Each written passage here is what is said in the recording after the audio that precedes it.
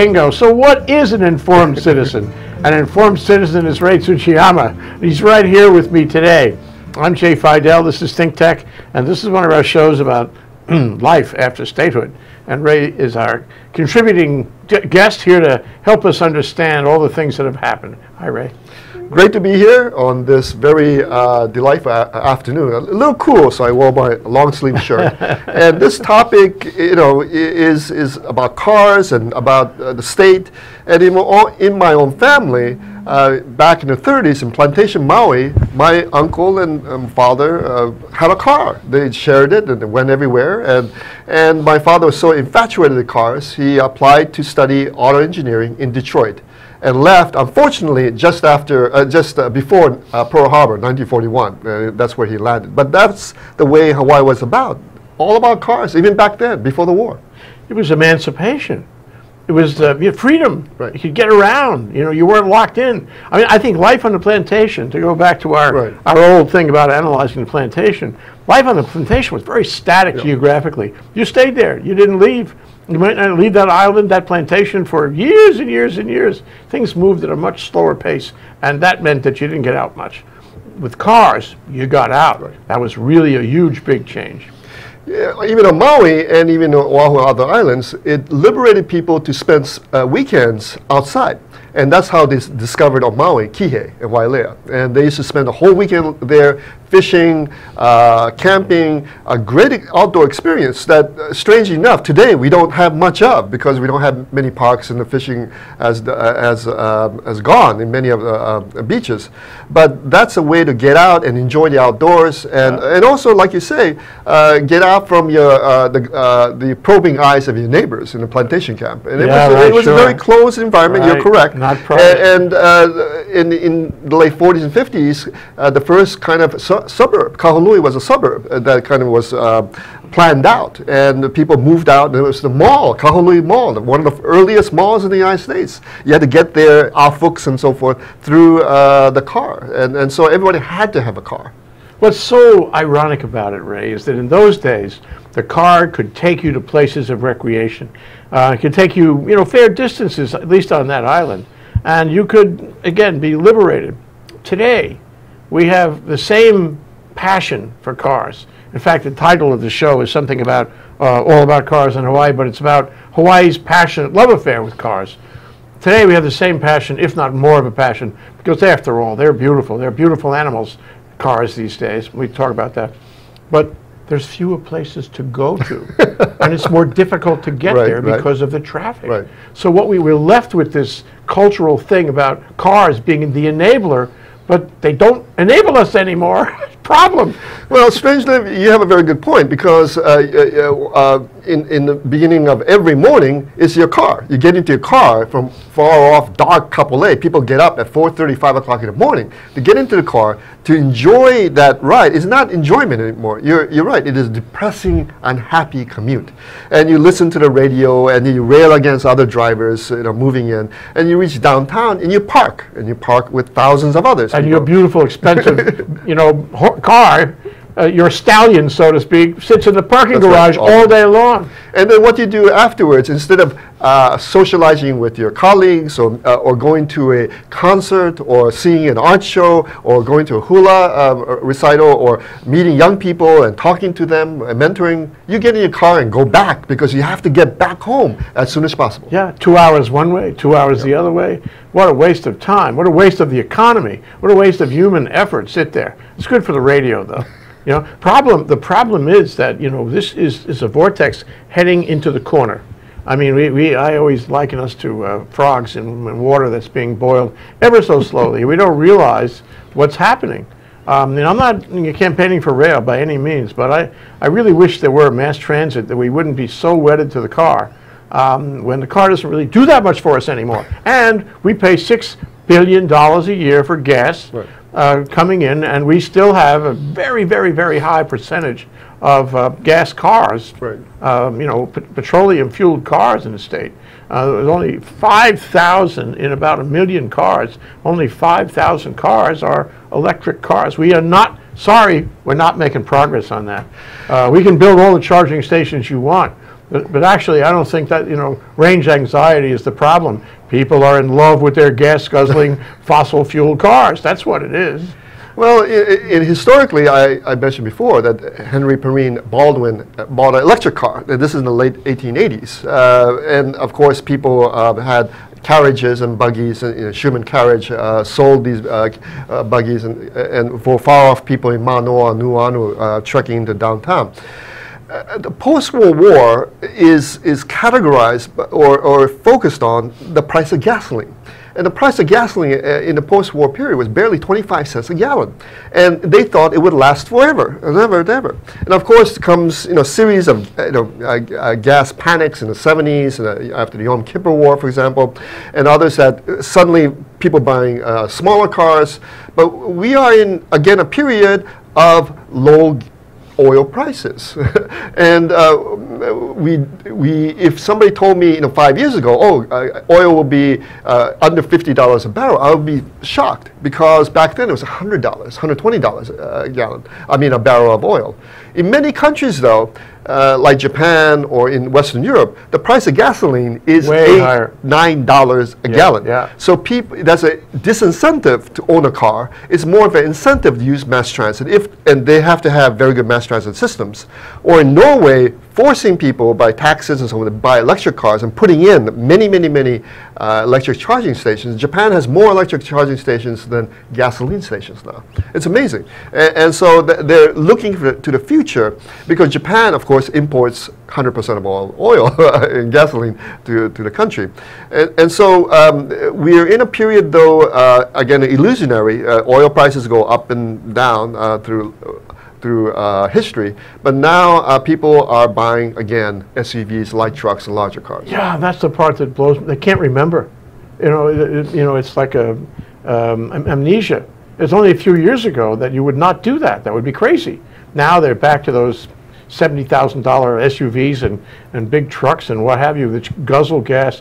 And you can say that the CAFE standards, you know, impose uh, great efficiency, but sorry, it's still gas, and we're still bringing it all in. We're bringing the gas, the cars, the the parts, everything comes in, and we have to send money out. And so, and we have no real alternative way of getting around. We have not attended to bicycles, sorry to say. If I want to disagree, call me up. Um, we have not attended to walking, you know. When, when I, when I came out here, I was in the service, and uh, the guy said, uh, you want to go to Honolulu? I said, yeah. He says, yeah, you should go to Honolulu because Honolulu is a walking city. really?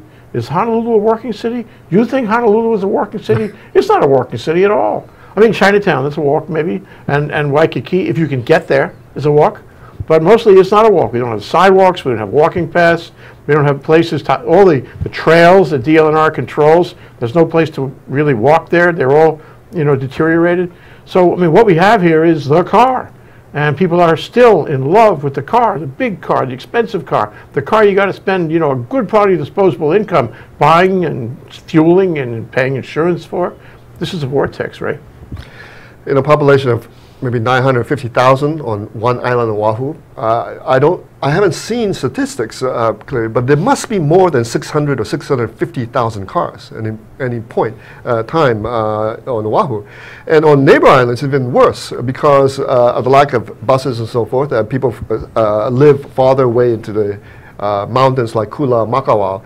And so one family may have three 3.5, four cars uh, to a family. Here it's hard to have more than two because uh, there are, in, especially condo areas, uh, there are uh, more uh, parking stalls.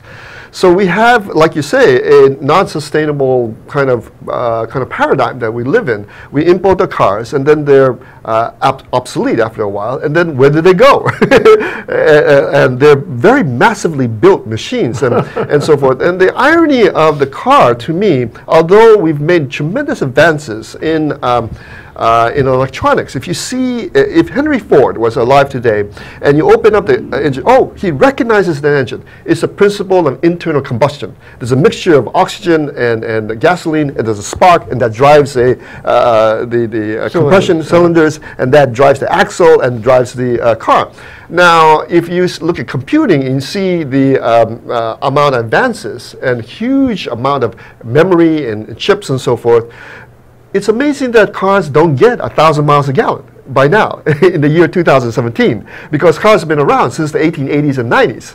And, and so the engine itself has not really proven to be a cost effective, very sustainable paradigm of, of uh, transportation. Yeah. Uh, but we're stuck with it well, in many emotional reasons. And in the state of Hawaii here in life after statehood, you know, I think a lot of people have this, this bond with cars that, that goes way back culturally to your dad's time and to the time when we were liberated by, by, uh, by cars.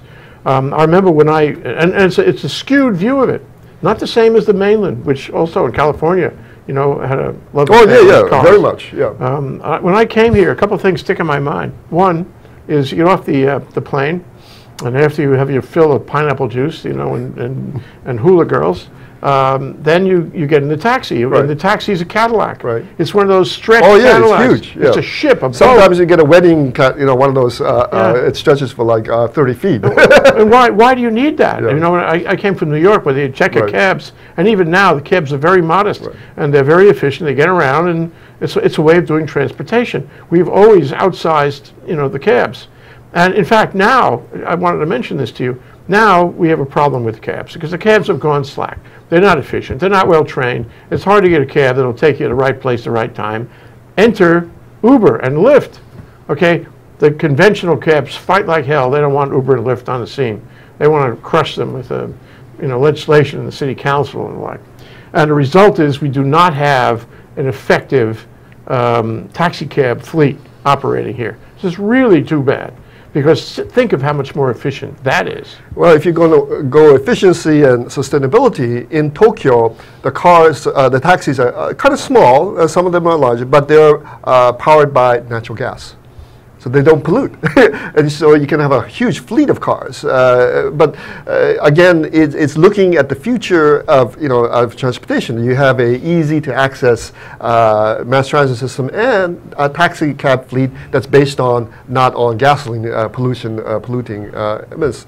But you have an interesting point. it's not integrated. You know, taxis are not integrated into the larger scheme of, of easy access and to somewhere along the way it got political. You know? Because uh, when you, you're correct that uh, the major use of taxis are at the airport, going from the airport to Waikiki and, and back again. Uh, and it's not used. It's like a fifty dollar ride. Yeah, but it's not used it's for short, yeah, short, short hops or business and so forth. Because if you go to San Francisco Airport, you see many people taking BART to uh, Union Square, and but they have very small bags. They're there for business two nights, maybe three at very most, and then they go back and then take their bag with them. But here at, at, uh, at the international airport, you have families. You have like 10 people, you know, as a group coming in with grandpa and grandma, and aunts and cousins and so forth. They have to, uh, you know, fit all their bags into large uh, uh, taxis and then move to Waikiki. Well, I mean, it's astounding how long you have to wait for a taxi out there.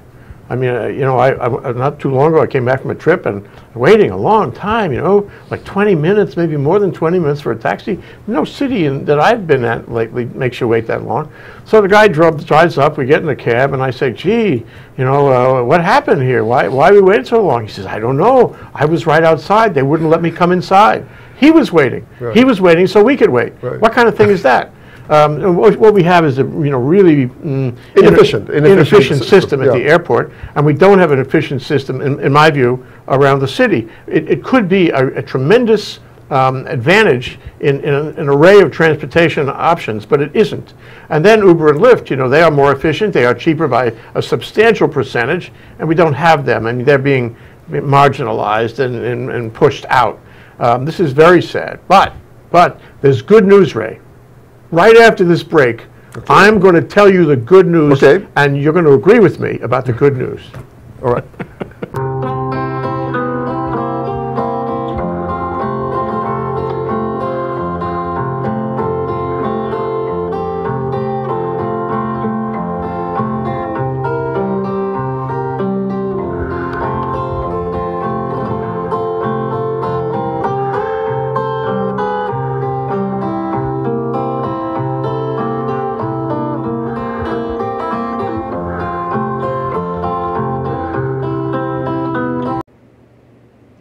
Hi, I'm Tim Apicella. I'm the host for Moving Hawaii Forward, And this show is dedicated to transportation and traffic issues in Oahu. Um, we are all frustrated by sitting in our cars uh, in bumper to bumper traffic. And this show is dedicated to talking to, with folks that not only we can define the problem, but we hopefully can come to the table with some solutions. So I invite you to join me every Tuesday at 12 noon, and let's move Hawaii forward. Aloha, I'm Kaui Lucas, host of Hawaii is My Mainland every Friday here on Think Tech Hawaii. I also have a blog of the same name at kauilucas.com where you can see all of my past shows. Join me this Friday and every Friday at 3 p.m. Aloha. Bingo, we're back. The good news, Ray? Okay, go ahead. That's Ray Tsuchiyama, by the way. He's an informed citizen. We're talking about cars here on Life After Statehood, talking about all about cars. And our subtitle is Hawaii's Most Passionate Affair, Most Passionate Love Affair with Cars.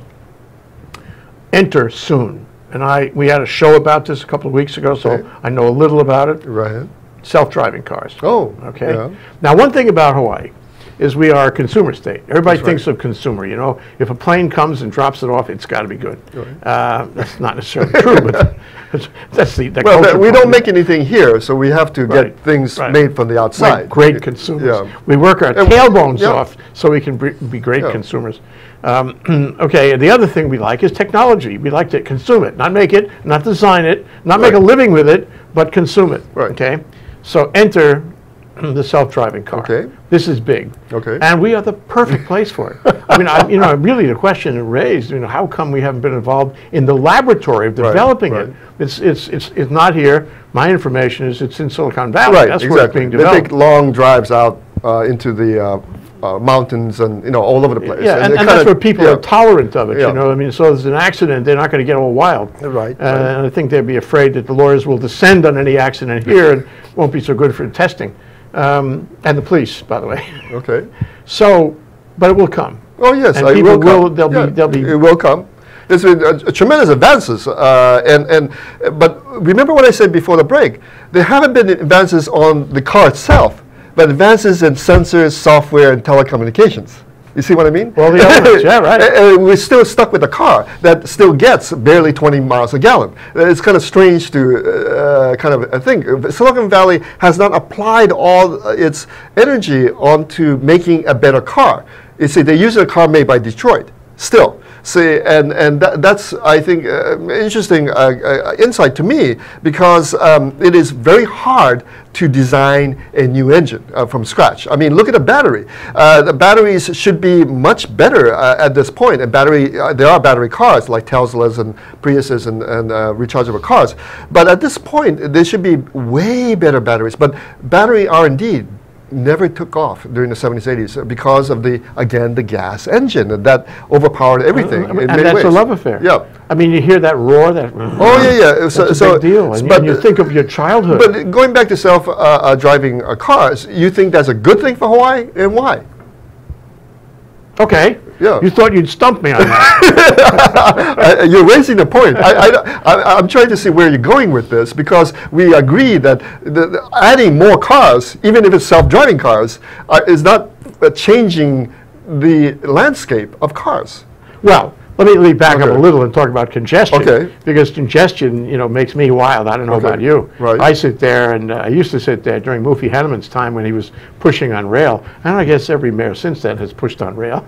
and, and I say to myself, you know, rail's not going to help, not one bit. And is he doing anything for the congestion where I'm at, where I'm sitting in my Right. park, my parked on the freeway? Um, and the answer is no. And every time you look, you know, you sit there parked on the freeway and you think, is anybody around here? Is, there, is there anybody fixing this? Is, is there anybody who cares about me sitting for hours on the freeway? Answer no. I, I do not understand that. With the modern Okay, technology, that's- that's one we do not have Right. tra- traffic So, signals. so it has not been uh, uh, addressed. Okay. Uh, you can do much more efficient transportation in electric cars because electric cars they move along, right? Right. They don't get stuck. And um, I think that's one element. It's one small element. With electric cars come comes electronic um, sensors Right. at the intersections and on the traffic lights. There's a bill in the ledge, by the way. I don't know what happened to it. Uh, to put um, you know traffic uh, traffic uh, cameras on the red lights again, Oh, like the van cams. Remember Okay. that? Um, anyway, so I think the technology will make will will go hand in glove between the traffic signals, the timed lights, electric cars, Okay. and for car riding, it'll be good. Um, and we have a great place for it because we should not be worrying about range anxiety because we're too small for Okay, range right. anxiety. Well, The longest trip is what, Yeah. 150 Right. miles or so. So I think that's a good thing. And because people love cars, that's a good, you know, it's, it's going to meet that demand, so to speak. I grant you that, you know, a properly designed mass transit system would be better. But I don't think that's in the cards. Do you? it's a good question to me. like I said before in the show, I- I'm all for mass transit, and um, I have uh, been focused on, on at grade from, um, from Street because uh, it's a fait accompli, uh, uh, you know, the, the couple A to ministry, and so. Um, I, and- I'll tell you a short story. Yeah, so, one, uh, one quick short story. There was a thing in the paper mm, two weeks ago after we spoke about this, Right. and it was a picture. It was a, a, um, a Photoshop picture of a, of a street. Right, right, right. And coming on a, uh statue, right? Of the of the Yeah, I think it was. at grade. Yeah, Right, yeah, yeah. And, and, On- and it was at King- grade. King It was a Street. very Yeah, appealing picture King Street. Yeah. of, um, Yeah, of a, a train at Right, grade. right, You know, coming right. right down Just the like street. Portland or Just anybody like else. Yeah, Portland. yeah. You know, but the, the funny thing is, the thing looked just like a bus. Why do you? What exactly do you achieve? Yeah. It just looked just like a bus. I said, why can't that be a bus? Why can't we do that tomorrow with buses? Huh? Good point. And and if the bus system was so great, everybody should be riding it. well, but you, in order to not. change human conduct, you have to give incentives. You know, those incentives have happened, you know, through our civilized lifetimes. And you can incentivize against cars. You know, you tax them. You can incentivize in Oh, yeah. favor of bus. Right. You can make it free. Until Billy Kenoi got in trouble, well, until Billy Kenoi's term, there was free bus rides on the Big Island. Wow, that's that's a good incentive right It there. was great. I loved it. Yeah, you yeah. know, they didn't have to use their cars. They didn't have to Yeah. drive over Right. the saddle road in the middle Yeah, of the yeah, night and get in accidents and all this. So this was this was a blessing. It was a major blessing, and now it's gone. Yeah. I mean, we, we touched that Well, and then lost it. Yeah, yeah. Because you have to boost, you have to change, like you say, it's not a transportation issue, it's changing people's behavior issue, or building a employment center on Kapolei so they don't have to come to uh, downtown or Waikiki to work.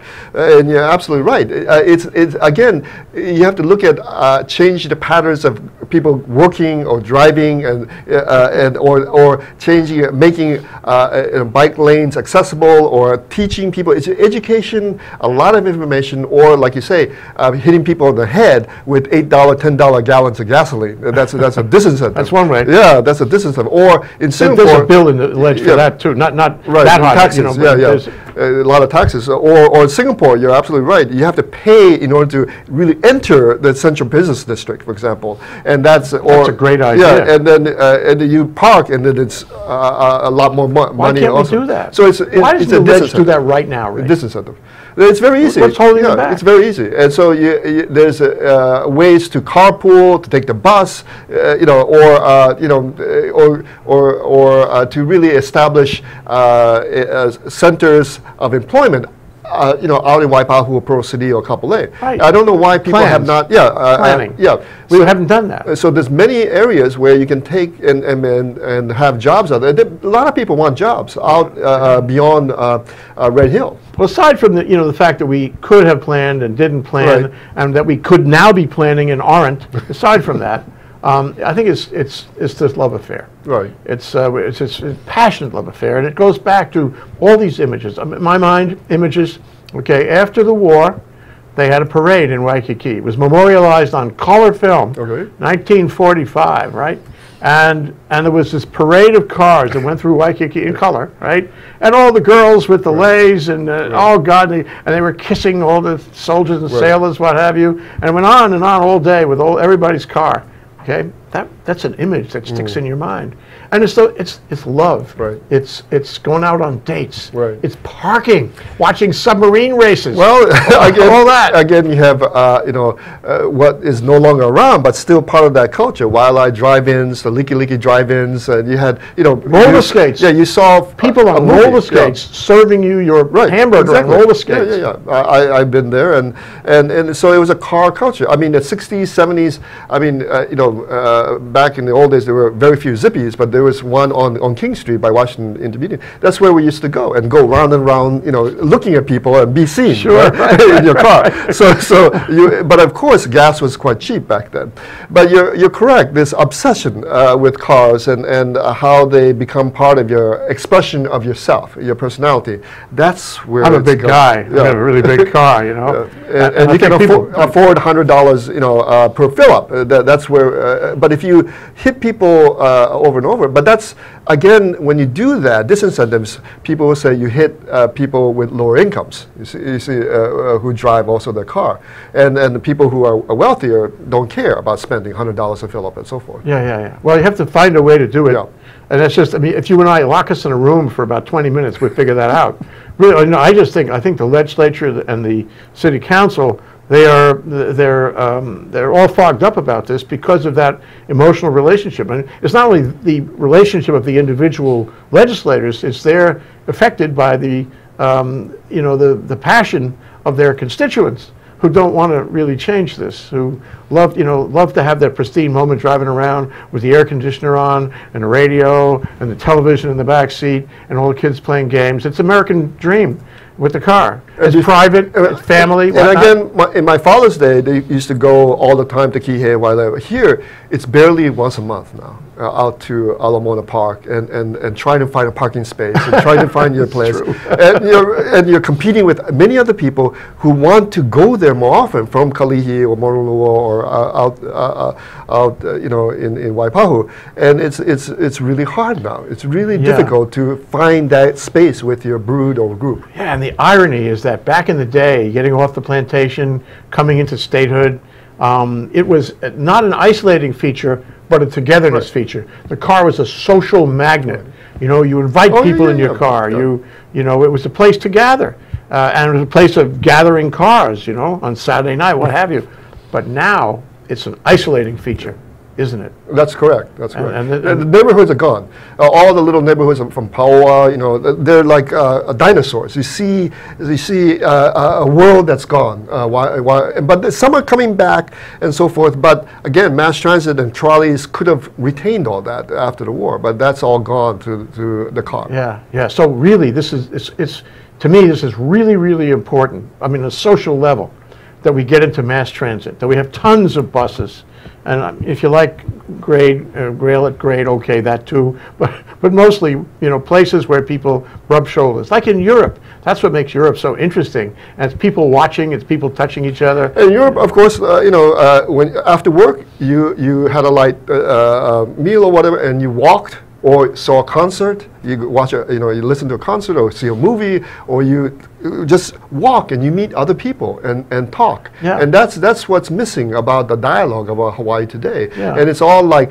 uh, TV to you, and you know that's it. And then you listen uh, uh, by yourself, In uh, your isolated, in your car, in going to work and back. And Yeah. that, that's how you receive the news, and i i it's not a, uh, it's not uh, um, a part of a democratic institution. Yeah. So mass transit is more than just getting around, um, using cars or not using cars, saving gas or not saving gas. Mass transit is remaking, should be remaking our society here.